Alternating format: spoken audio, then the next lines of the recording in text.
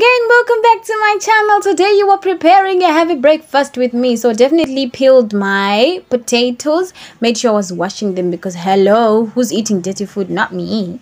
So here i was washing them making sure they're all clean.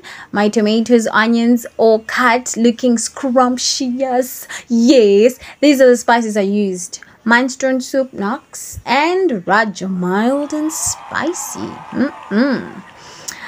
And here was boiling the potatoes, adding some oil to them because ah, uh, who's not eating oil? Who's not having oil in their food? What? Okay, some salt for taste here. They had boiled. I was just checking on them, and the water is too much. Mm-mm. I then drained some water, added my onion, yes, my tomato. Yeah, look at the color. I love colors. Okay. Oh, that looks amazing. Okay, so I'm currently mixing them so they can get together. You know, you need tea and oh, I added my spices. What?